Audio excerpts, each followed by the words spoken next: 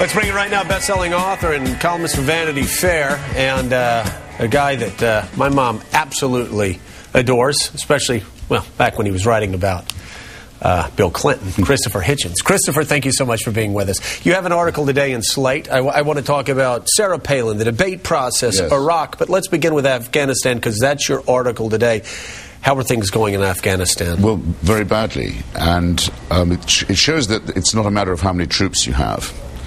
Um, it's that these things are not quantitative, as people keep thinking. Our strategy's wrong in Afghanistan. Why Just as the strategy had to change in Iraq for it to work, it wasn't a matter of the troop level so much.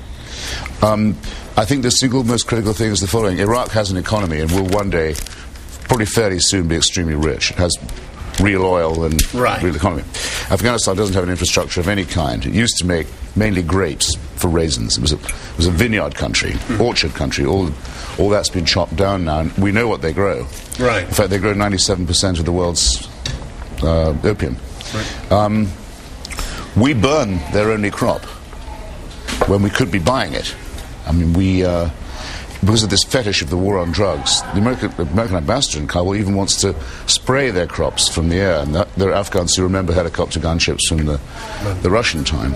We should be buying that crop. You know, we pay the Turks to grow opium so we can make painkillers. Why don't we give the Afghans that, that business? You know, um, Until they can regrow their orchards and their vineyards, which will take some time. Right. We're, we're, just, we're determined to make sure that all the profits of this, of this economy go straight to the pockets of the My, Taliban. my uh, co-host Mika Brzezinski, uh, she will be kind enough to get her father on the show so we can talk to him, and Yeah. he keeps warning about a surge mentality in Afghanistan. Says it would be a terrible mistake. Uh, it sounds like you agree with that. That we can't just blindly say, "Oh, let's send more troops to Afghanistan," because he fears, and he knows he was there when it happened. He fears it could cause. Uh, uh, Afghans to actually uh, strike back at Americans. There's a very interesting leaked uh, cable from the British ambassador in Kabul, Sir Sherard Cowper-Coles, so I used to know uh, a bit. A very intelligent man, very outspoken. It looks to me as if he did say the things that are said in the cable. Um, he says, look, if you, if you just bring in more troops, you increase the impression that you're an occupying power and you give the other side more targets.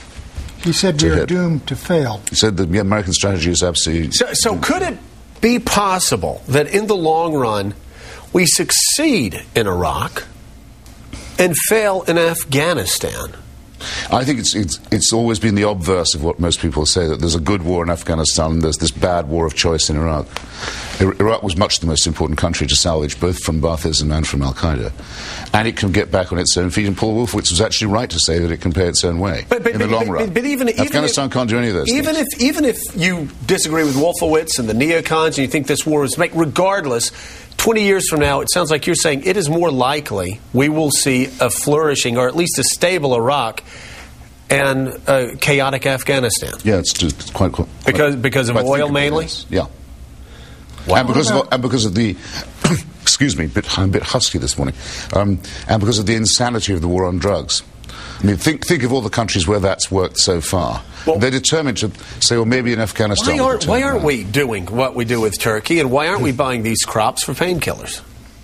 Search me. Well, because it's a dogma that we can't have anything to do with opium or drugs, and uh, we insist that the whole product of this extraordinary underground economy, all of the revenues go straight to the Taliban, to Al Qaeda, and to the warlords. We won't touch that money.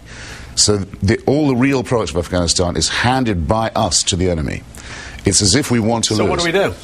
Well, try, the to, try to get do? out of this suicidal mentality. It's time that both Obama and McCain were asked questions about this. It's been discussed at a very high level in Afghanistan. Everyone knows the option of doing this exists, but no candidate wants to touch the war on drugs. Are you, are you, as someone that grew up uh, watching the Prime Minister take questions from Parliament every Yes. week, are you not flabbergasted by the inane formats that we Americans uh, hoist upon our presidential candidates? It's incredible. I mean, they call it a debate when the two candidates are not allowed to engage with each other directly. Even actually, though Jim Lehrer did try it at one point when things were flagging. But they It's wouldn't- they wouldn't even joint- talk to each It's a joint. No, they wouldn't do it because they're so frozen into this posture of a joint press conference. It's pathetic.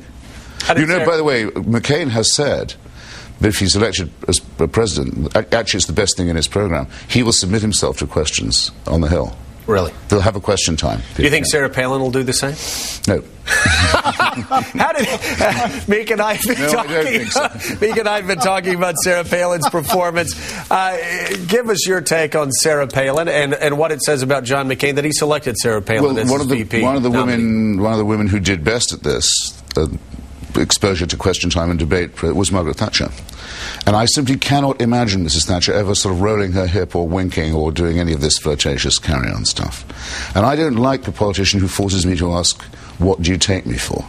Yeah. I, as soon as I'm asking that question, I'm asking the wrong question. I shouldn't be in that position. I ask it of McCain, too. Are you really telling me that's the best person you could find out of all the people in the United States, all the women in the United States? Because if so, it's a terrible judgment on you. And it seems to have had uh, a, a suitably um, chastening effect on his chances. Pat Buchanan?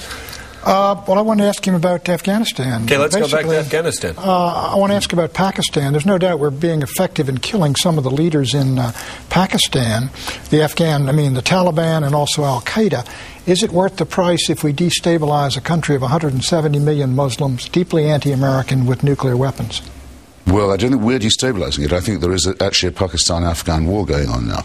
The Taliban rule in Afghanistan was another name for Pakistani imperialism, really. The Pakistanis have always wanted to run Afghanistan as their colony or their dependency because it gives them strategic depth Right. in the, the thing that really matters to them India. fighting against our great democratic pluralist English speaking ally India, in which we have a huge stake, which also has nuclear weapons, many more than Pakistan, is a, is a local superpower.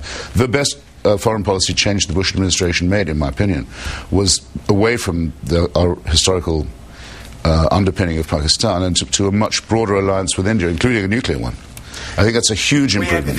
I, I've heard other people and, and read other articles about, and it's flown under our radar. We read the papers every day. We talk about what's going on, but we turn around and apparently the Bush administration has created a, a stronger uh, uh, relationship with India. That that may be one of his lasting legacies Military, moving forward. but also economic and political and diplomatic. I mean, One of the problems in India was an ally of the Soviet Union in the Cold War. During the previous Afghan war, they were on the side of the Soviets. It's true that the Indians um, were a bit worse than neutralists in the Cold War, but that's all changed now. and remember, um, the Indians were fighting against Al Qaeda long before we were, Yeah. and were helping the Northern Alliance against the Taliban long before we were. And it's a predominantly Hindu country, and Hinduism was the first religion on which bin Laden declared war. Talk- talk about- so we, we have a huge potential third world ally against. Uh, this madness, and I think I think it's a it's an opportunity that should have been seized is earlier. also an enemy of Al Qaeda. Al Qaeda wants us to bomb Iran. Al Qaeda don't has don't think has a position on whether we bomb Iran. No, or and not. they're, they're, Al Qaeda in Iraq They has might be said, happy if blow do. them back to the Stone a- Age. a- well, let- let's put it this way. Actually, after, there are a after, lot of- In other words, there are all after kinds of 9/11, conflicts the- within conflicts. After You're- 9 you're 11, the Iranians there are a lot helped of- us. sorry. After 9 11, the Iranian intelligence agency Yes. helped us uh, in, in Afghanistan. Well, if you remember, if, Bill, if Bill Clinton hadn't stopped them, the Iranians were going to invade Afghanistan on their own to overthrow the Taliban after their envoys um, Were murdered. Were murdered in, in Mazar Sharif. Um, they were bringing their armor right up to the border. They hate the Taliban, and they've actually on that border been quite cooperative ever since. But look, Al Qaeda wouldn't be the only Sunni Arabs who would secretly want the United States to take out the Iranian nuclear facilities. Very quickly, you. They're very, I mean, they're terrified, especially the. Gulf states, of nuclear blackmail once the once a Shia theocracy has a, has a nuke. yeah. You, you have a flag pin on your lapel? That's you don't the see that flag of the Iraqi Kurds, of the Free Kurdistan in the north of Iraq. All right. Do, The, great, the greatest outstanding success of regime change in the region. All right. Thank you so much, Christopher Hitchens. Always a pleasure. Greatly appreciate you being here. Hope you come back more often. right? Yes, absolutely. Very good.